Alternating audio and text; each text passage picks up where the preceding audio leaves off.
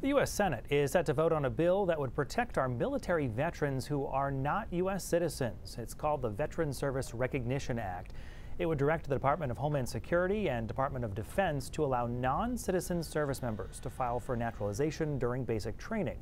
It would also create a committee that would review the cases of those veterans who are in the middle of removal proceedings, such as a deportation, and determine whether they should be sent away or not. Lastly, it would give those veterans whom have already been removed to get legal permanent resident status, as long as they have not committed a crime. In my opinion, if you're willing to serve our country, I mean, the least we can do is say, well, you you belong uh, with all of us, and you should be allowed to go through that process to apply for citizenship. And currently, you can't. So I, I think it's sort of a no-brainer. There are almost 124,000 military veterans who are not U.S. citizens and about 45,000 immigrants in active service right now. The House passed that bill yesterday, 220 to 208.